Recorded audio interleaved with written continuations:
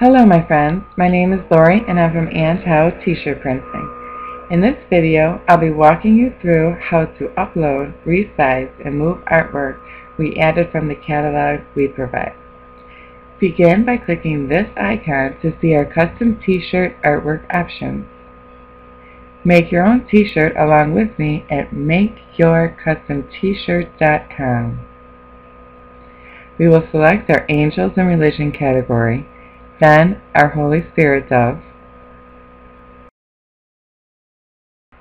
Now that your artwork is uploaded and can be seen on the custom t-shirt you selected, we can use these corner arrows to resize your artwork while maintaining your height and width proportions.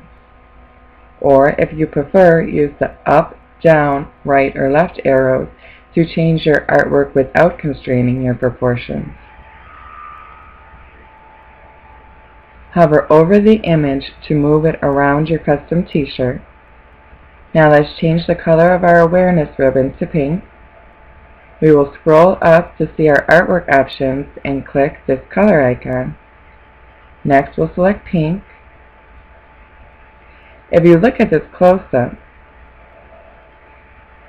in our current design, our Holy Spirit dove is in back of or under our awareness ribbon.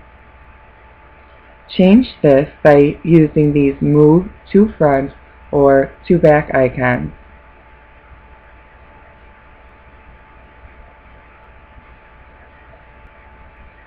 Hopefully you can see how when I click this to back icon, the ribbon moves behind our Holy Spirit dove, which is our preference.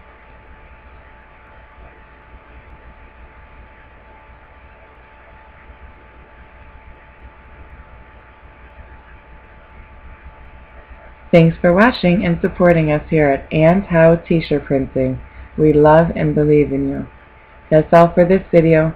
Hopefully I answered your questions and you are ready to make your custom t-shirt with us at makeyourcustomtshirt.com. Remember, sharing is caring and we need your support, so please subscribe and repost. Also, we'd love to see some pictures of the custom t-shirts you make in the comments section below. Have a great day.